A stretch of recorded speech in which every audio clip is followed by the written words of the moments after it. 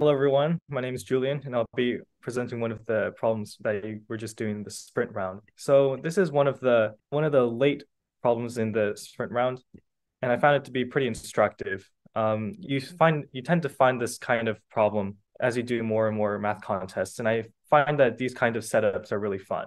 So let's first read this problem.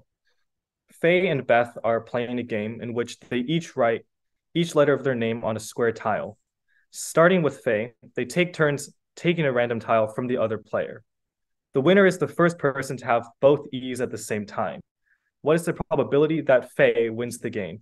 Express your answer as a common fraction. So I'm first going to draw out what I understand from the problem. So we have these four tiles that Faye has at the beginning, and then Beth will have these four tiles. Now I want to do a little bit of work to simplify this problem, to remove any of the unnecessary details so that it's clearer how I should go with the solution. And one thing I can simplify is by note by noticing that there's nothing particularly special about any of these letters except for the fact that they're all not the letter E.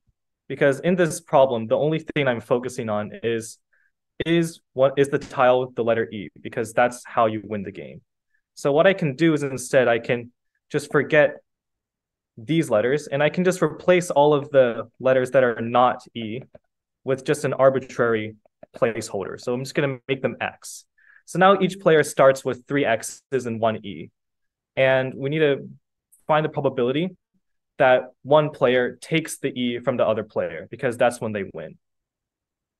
So because Faye starts first, Faye already has at least a one-fourth chance of winning the game on the first turn, which is just by taking Beth's E immediately. So I'm going to first let P be the probability that Faye wins. And I'm ultimately trying to find what P is. So I can first write P equals one fourth, which is the probability of winning on the first turn. And there's going to be plus whatever this probability is that Faye then wins on later turns. So if there's a one fourth chance that Faye does not that Faye wins on the first turn, then there's a three fourths chance that the game will continue for a little bit longer. So three fourths is the probability that Faye chooses one of the other tiles. So in this case, Faye will choose an X from Beth's hand. And in this case, now it's Beth's turn. We still want to ensure that Faye can win. So we want to make sure that Beth does not choose the E from Faye's hand. So three fourths is the probability that Faye chooses the X and now we want to find the probability that Beth chooses an X. And there are four X's out of five possible tiles. So we're going to multiply that by four fifths. So once this has happened, this means that Beth, that Faye has chosen an X from Beth's hand, and Beth has now chosen an X from Faye's hand.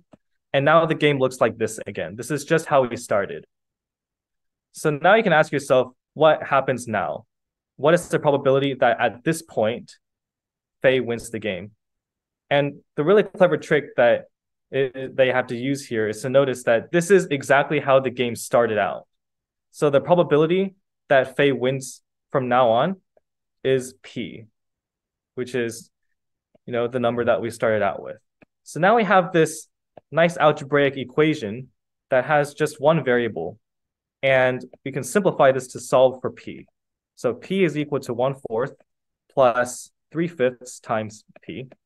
So that means two fifths times P is equal to one fourth.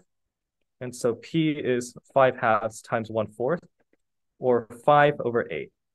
And so five over eight is our final answer. This is Tim. Hope you're enjoying our videos. If so, you know what to do like, subscribe, turn on notifications, all that sort of thing. But what I'd really want to invite you to do is to send us an email at media at mathleague.org. Tell us which problems you'd like to see us cover next in our video series. Take care and see you in the next video.